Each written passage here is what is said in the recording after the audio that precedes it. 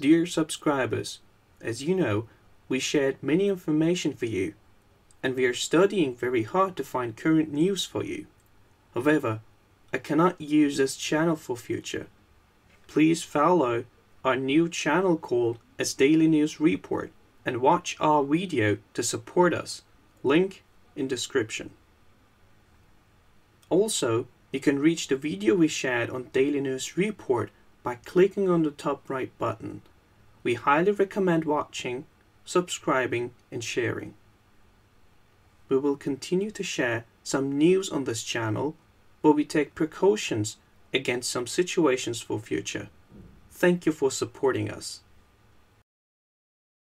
Side effect of the population as a whole uh, encountering what you could call an awakening wave, uh, a combinoric effect, if you will, of uh, information coming on out and the breakdown of the legacy media, meaning that the um, fence or the um, the wall that was between uh, the citizens and what the elite were really doing is crumbling in and of itself. That has a tendency to expose more. Each one of these little nuggets of exposure leads to further, and so on. So, yeah, the elite have got a real uh, hard row row to uh, hoe here for the next um, uh, few years to just survive. Do you think that the elite they're just going to sit back and just let everything completely be, you know, everything taken away from them, or or, or are they going to hit back? Does your report say anything about the elite like hitting back or doing anything, creating events or anything like that? Uh, we don't have anything at the moment uh, indicating a um, uh, anything like a false flag or coordinated attack or that sort of a,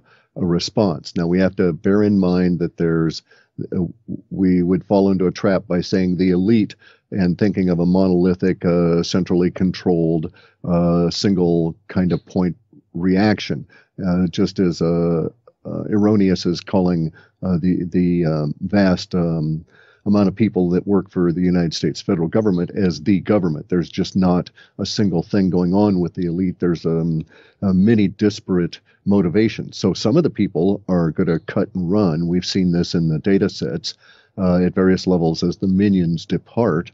Uh, the um, practical reality that we're facing has uh, a power pyramid at its top that has been controlled by for some 70 plus years by um, uh, secrecy, secret societies that have been infiltrated and are being used to hide uh, criminals.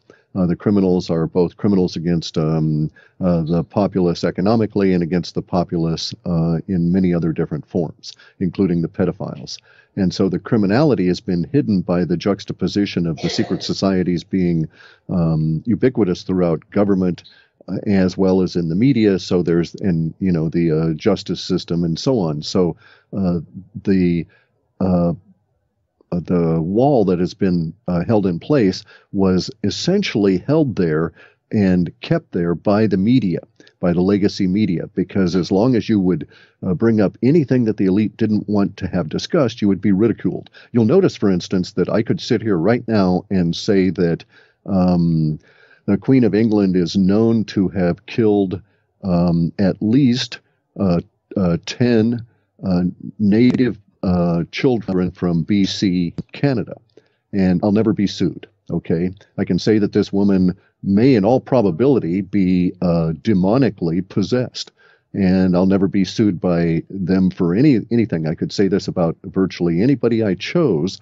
Uh, these kind of words, and you'll never be sued because they don't want this to get to a legal uh, issue. They'll never sue you to try and protect themselves that way. They don't care. Their response in the past would be to have the media come on out and do their damage control and build a wall for them and basically ridicule you into silence, just like the UFO people that have a, an encounter and see an unidentified aerial phenomenon and report it to the um, uh, authorities and media in the past would be ridiculed.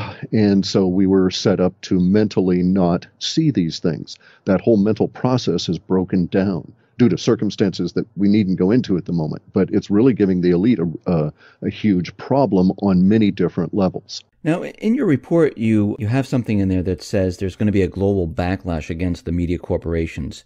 As part of this shifting narrative over 2017. Uh, there's a national movement against the media. W- what do you mean by this? It's going to come out that um, major corporations uh, whether it was by direction of the board of directors or whether they were infiltrated by a secret society that all worked as a uh, as a whole within that corporation. But these corporations have been feeding into our media a um, um, a mental mind control kind of a thing uh, for the past 40 or 50 years. These uh, organizations, it'll come out this year as to what they've been putting into their um, media offerings, their entertainment offerings, and how um, negative it was for us as a social order and for individuals.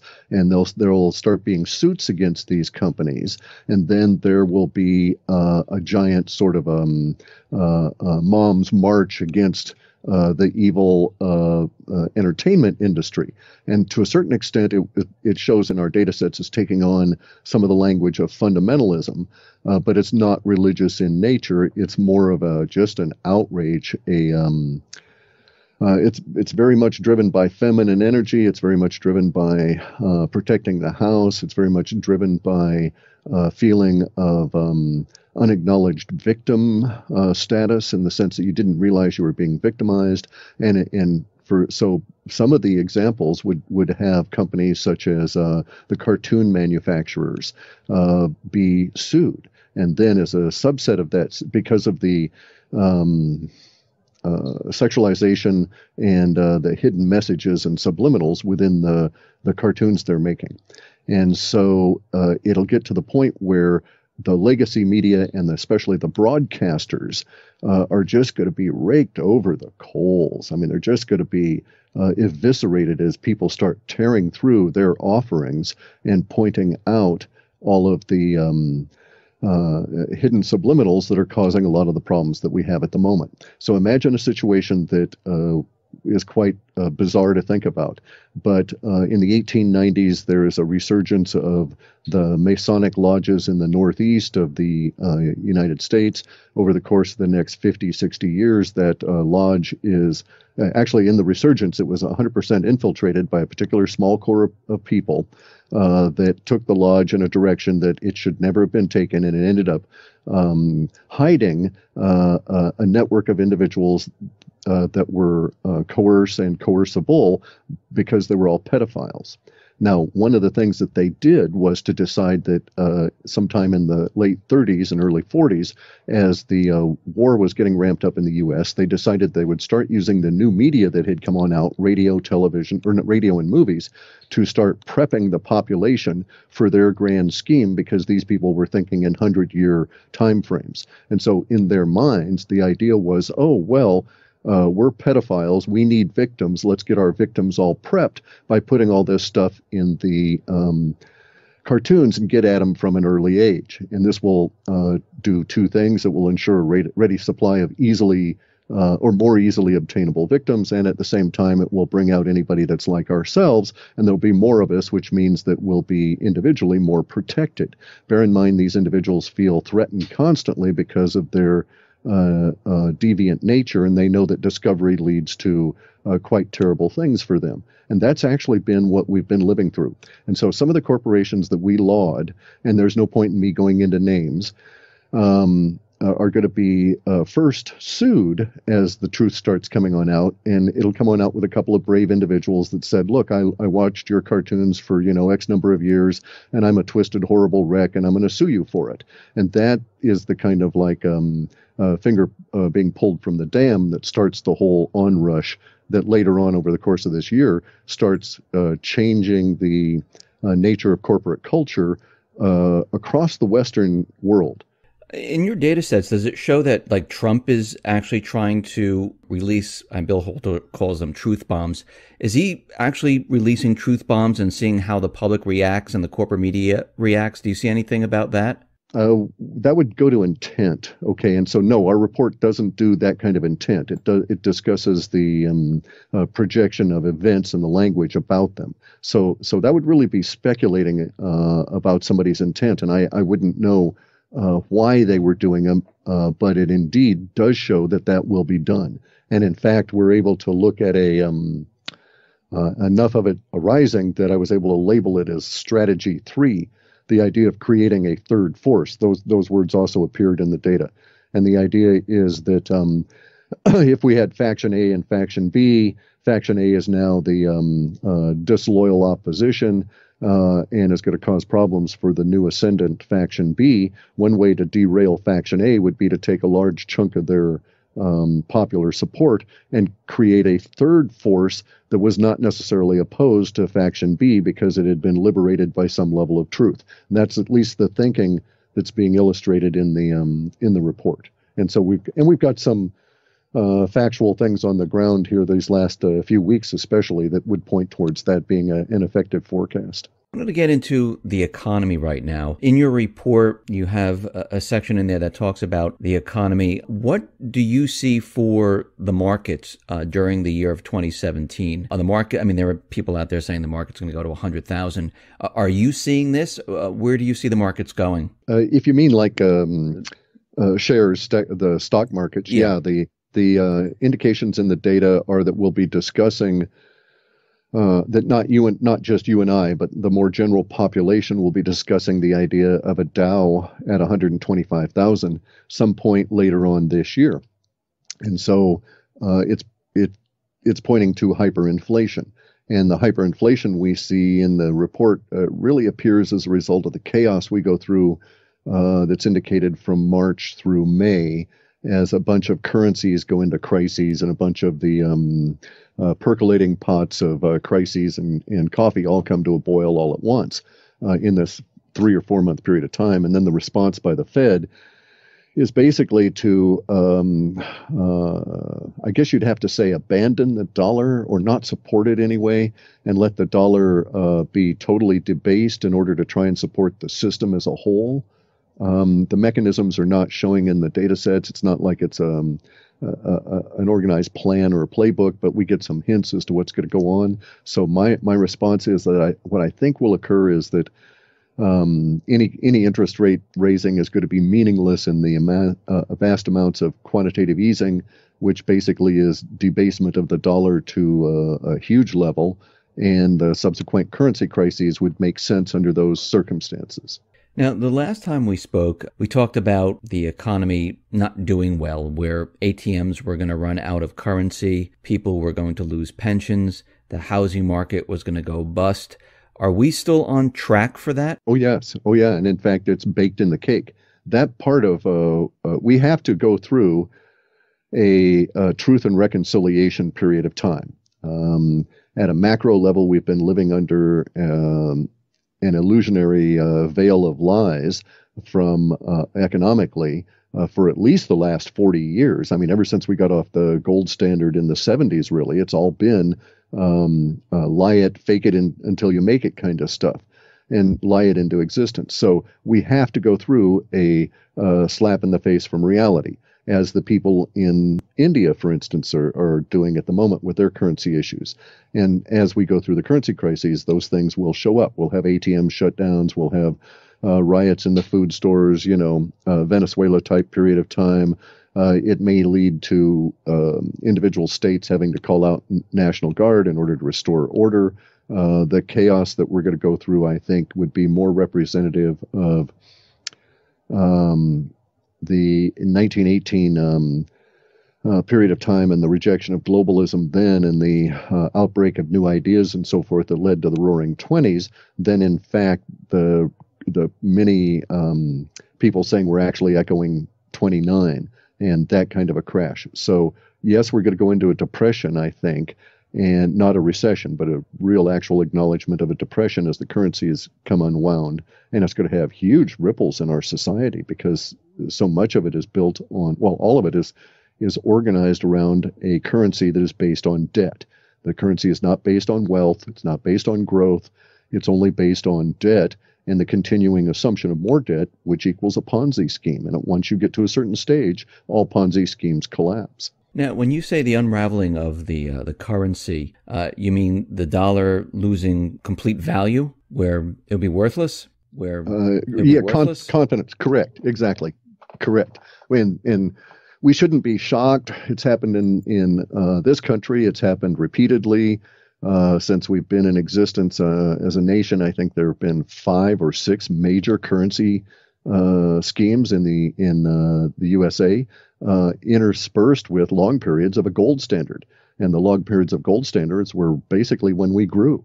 China started paper money over 6,000 years ago, and they routinely crash a currency every 27 to 40 years and have to start up with a new one. And it, it has to do with confidence. Once you lose confidence in the dollar, it takes them a while to get you to have confidence in some other representation of money, some other currency. And bear in mind, it's currency that you pass back and forth with dollars. Currency is not money. It's um, one step removed. It's something that allows you to do business and have a current transaction and exchange current energy with people without necessarily having to mess with moving real money which you know could be silver and could be quite heavy, that sort of thing. So uh, the currencies are going to cause us um, uh, real problems because of their age, the, the, that there's no value or wealth in them, and uh, we're at that point where we've got to uh, overcome to get beyond and get ahead. And at least in this particular point, uh, there's enough of us that are waking up that we can sit here and contemplate what we're looking at for the next five and six years and so on, and do some planning as opposed to have to react from crises to crises to crises over that same six year period of time. Does that mean that the dollar will no longer be the reserve currency of the world? That's already occurred. The petrodollar has died. We know this now because. Um, we have, uh, I don't know how many nations in negative interest rates. All of those are Western uh, currencies that are dollar uh, pegged or, or based. And now people are trading in uh, oil around the dollar without involving themselves in the dollar at all. So the petrodollar has died. It's no longer true that the US dollar is reserve currency. And we're going to find that out really rapidly this year when it's going to turn out that the uh, Fed, uh, Federal Reserve Bank which is not part of the federal government, has no reserves, and is not a bank, is going to try and issue or, or trying to buy uh, debt that's being issued by the U.S. government that won't be bought by foreign nations. So in our in our data sets, we have data for a period of time later this year, probably in midsummer or, or later, in which uh, bond offerings for U.S. Treasuries uh, are only purchased by the Fed. So it's you're starting to make and eat your own dog food and that cycle uh, doesn't last very long. Now, I just want to break down how this is going to occur throughout this year because as we get closer and closer to these type of events you get more information correct? Correct yes. So uh, i mean are, are we at the point where this is going to really start to break down in in this year? Are we going to see inflation? Are we going to see the the uh, atms dry up with currency? Are we going to see maybe a credit freeze? I mean you do you see this happening this year? Yes actually within uh, a very short period of time. So this is the first part of february we should be uh, well into it by middle of March. Uh, crises should be and chaos should be more the um, daily operating uh, mode than not. And and yes, we will see that this year. We've seen a lot of these data sets shift from long-term data into short-term and now into immediacy data. The immediacy data has uh, effectiveness from three days out to about the end of the third week.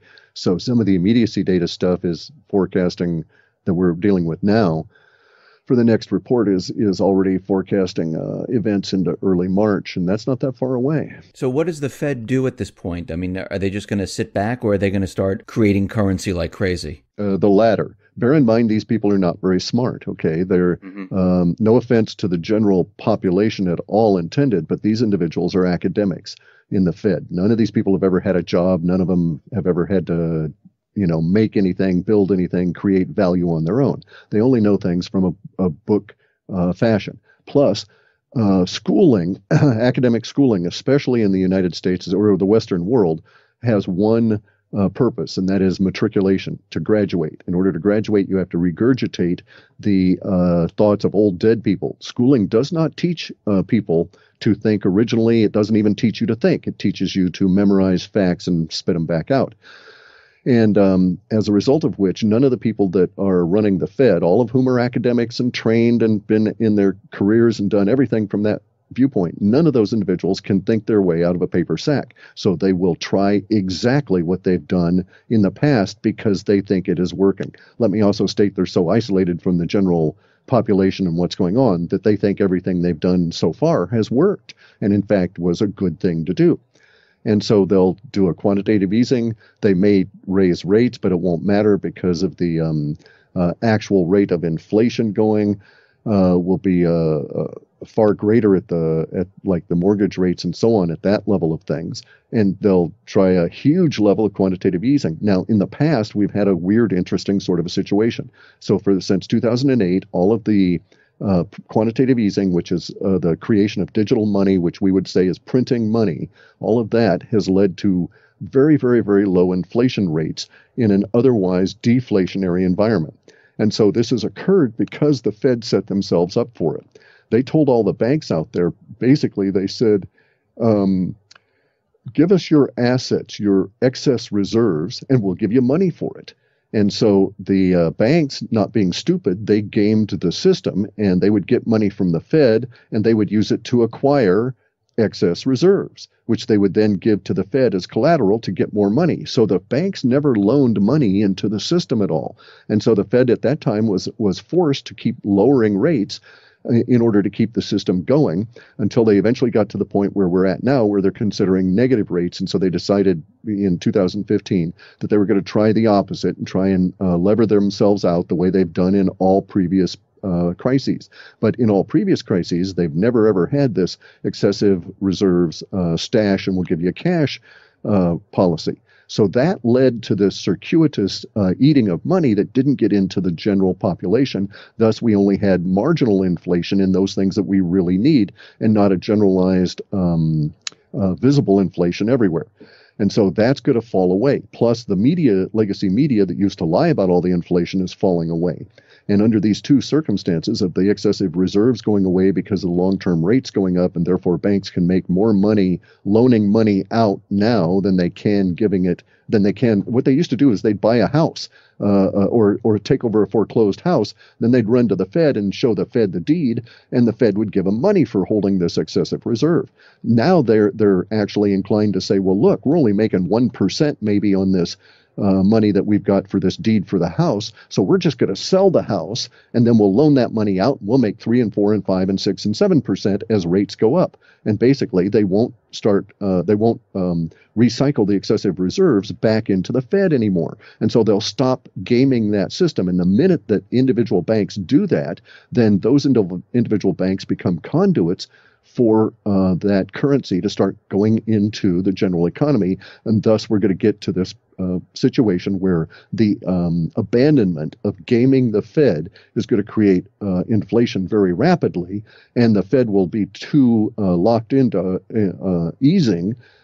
Uh, and we'll get into hyperinflation, and then they'll start trying to chase the interest rates after that, and that's when it shows as coming all unglued at the local regional bank level.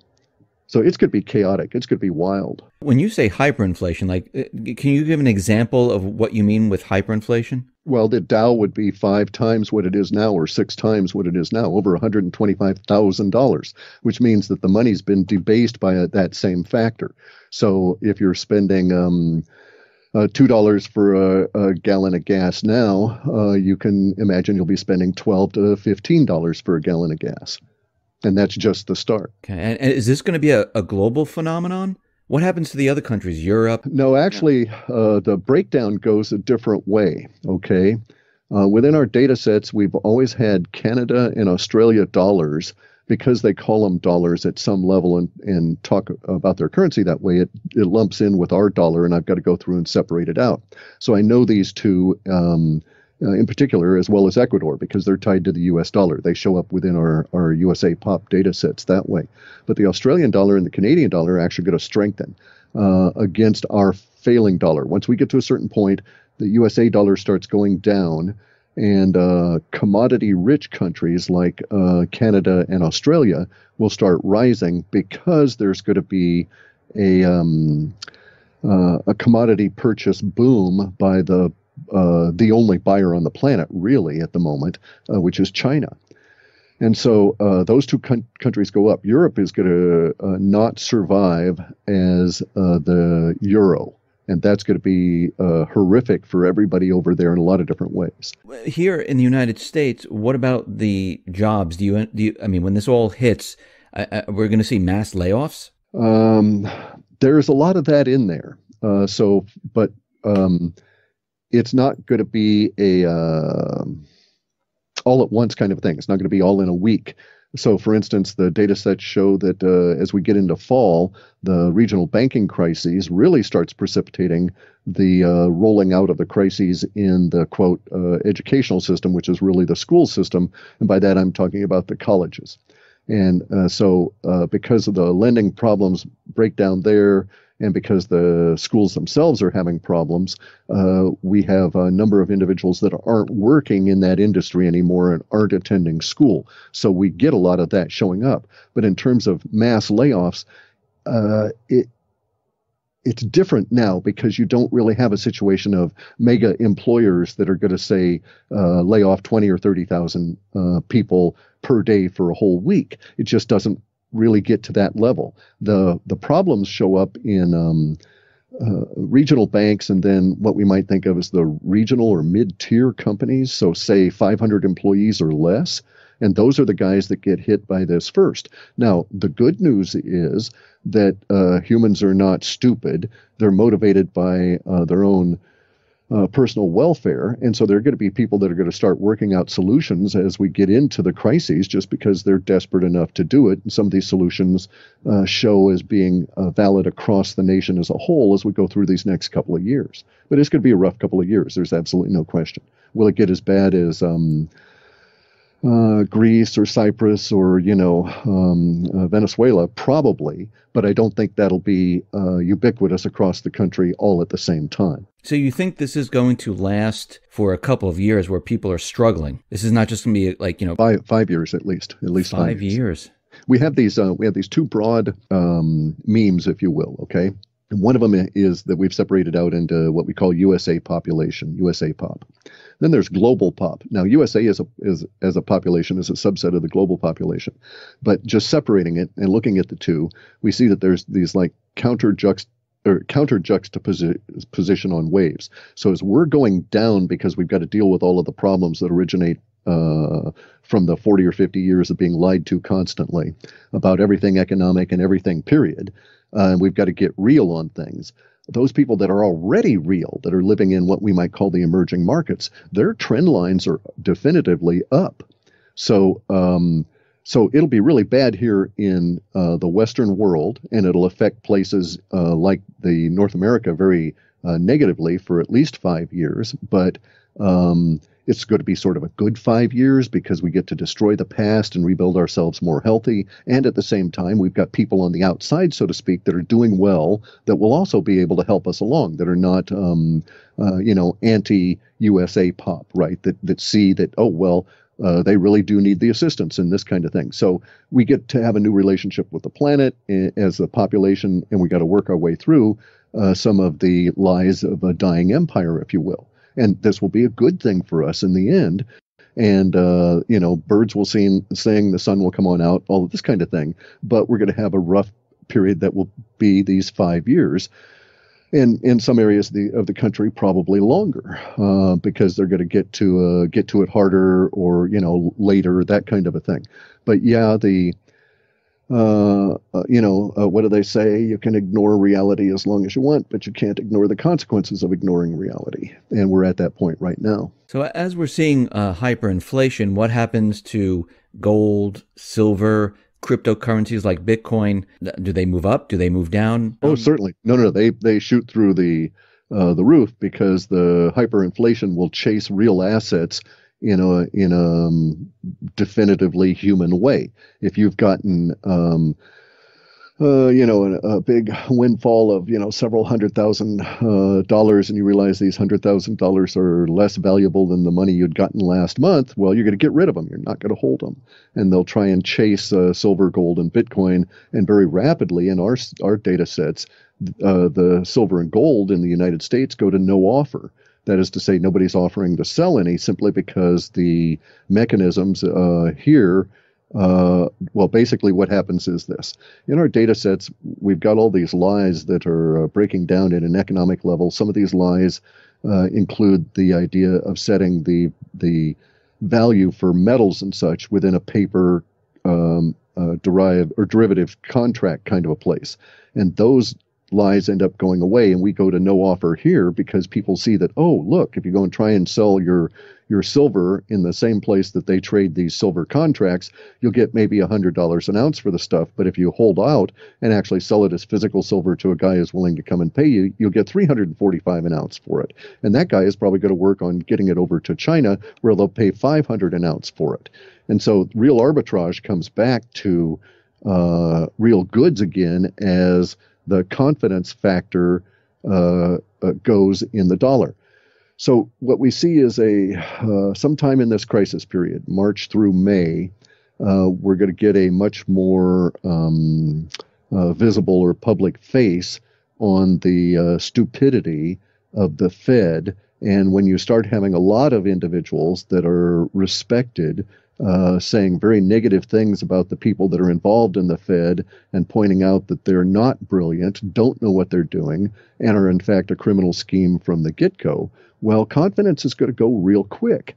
And, and, it, and so our data sets show that, that that is coincident with the problems in the regional banks and so on, because it all relates to, to currencies, and currencies have basically a single crisis this year and that is, that crisis at its core is confidence. So what this sounds like to me is that we're going to be going through this reset, and this reset's going to be painful. Is the central bank still going to be in existence um, after all this is said and done? Uh, I would hesitate to use the word reset. Okay. Okay. The, the reason that I hesitate to use that is because I'm uh, I'm not being um, uh, fixated on the language per se, but there are nuances that need to be brought up.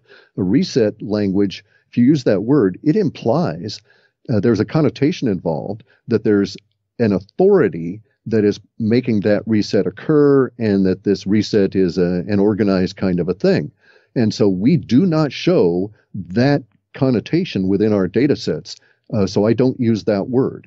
Uh, because, for instance, they say, oh, there's going to be a reset in the value of the Iraqi dinar, and all those people that bought dinar for um, you know, parts of a penny are going to be mega rich. And that reset and the language, whenever you see this language in the woo woo world, uh, reset used, it is always going to this idea of what I call the external savior myth. That is, that there's going to be someone outside the system that's going to cause it to be saved. And that is not the case that we have here. We don't have a, a, a reset. We have all of humanity struggling to, well, especially because of the Western world, but we have the Western Empire struggling to come out of um, uh, empireness and the lies that have held us all in that state of mind for, like, as I say, the last 40, 50 years. After all this, who controls the monetary system? Is it still the central bank? No, I, we don't we have the central bank sort of um, uh, dying in the sense of not being killed, but dying like um, uh, competition. Like you know, they're the the local barista that has bad coffee. Nobody just goes there anymore. They just yuck. I've tasted that. It's no good. Let me go get my silver, gold, Bitcoin. And Bitcoin shows up as being very uh, useful to the point where we, as a social order, end up having slang terms for decibits and millibits and so uh, we know that the slang will evolve because there's forecasts of that within our work. We just don't know what those words are going to be, but we'll have words for millibits that are that are um, equivalent to the word for a penny or for a lira, that kind of a thing, right? Because we'll be using it, we'll be transacting in that. Clif, do your data sets see anything that has to do with war or anything like that? Uh, there's a lot of it, but no, we don't have. There's a lot of the grumbly level war language, all right? But in general, that appears to be winding down in the long term data sets. So uh, it is as though uh, faction A, uh, when they were in control, had so much of the resources going into uh, the wars that they were able to sustain those because they were constantly being paid for. And now that we have two conditions arising, which is that Faction A is no longer in control of those resources, and those resources are dying in and of themselves because they were currency based, then there's no longer uh, support for all of these grumbling kind of wars around. So, in other words, um, uh, explicitly, the data sets show that the uh, USA POP funding uh, for what we call ISIS or ISIL or Daesh or Daesh or any of these things for that insurgent level, it just stops. And these people basically, without the money to keep going, uh, fade away over a very brief period of time, uh, just relative few months.